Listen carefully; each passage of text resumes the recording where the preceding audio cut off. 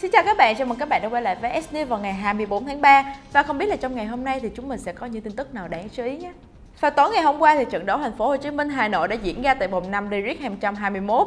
Một sự cố từ tiền vệ Hoàng Thịnh đã khiến cho Hùng Dũng bị chấn thương, phải nhập viện, khiến nhiều người không khỏi xót xa. Trong đó thì có MC Thành Trung cũng đã đăng status động viên, nhưng vô tình thì gặp phải nhiều ý kiến trái chiều khi cho rằng đang phân biệt vùng miền. Trong đêm ngày 23 tháng 3 thì MC Thành Trung đã đăng một status dài để nói lên nỗi bức xúc của mình. Anh cho biết là mình rất buồn khi Hùng Dũng không chỉ là một cầu thủ của Hà Nội mà còn là một niềm vinh hạnh của bóng đá Việt Nam ở mọi sân chơi.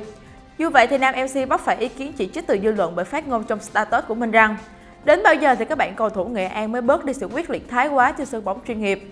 Bài viết này được cho là ám chỉ đến cầu thủ Hùng Thịnh, người đã gây ra chấn thương đến Hùng Dũng. Tuy nhiên thì cách anh diễn đạt lại khiến cho netizen tranh cãi bởi yếu tố phân biệt vùng miền khi nói về Nghệ An. Ngay lập tức thì MC Thành Trung cũng đã phải lên tiếng giải thích về phát ngôn này, tuy nhiên thì vẫn phải tiếp tục gây ra lùi ý kiến tranh cãi. Khi được nhắc nhở thì nam MC cho rằng đây là một tính đặc trưng của cầu thủ Nghệ An. Lời giải thích và khẳng định về cầu thủ Nghệ An của Thành Trung bị cho là quy chụp, nhưng bên cạnh đó cũng có nhiều ý kiến cho rằng nam MC nêu đúng đặc trưng của cầu thủ Nghệ An. Thông tin mới nhất vào sáng nay thì Ngô Hoàng Thịnh cũng đã vào viện thăm hỏi Hùng Dũng. Sáng nay thì 24 tháng 3, Hùng Dũng sẽ được phẫu thuật.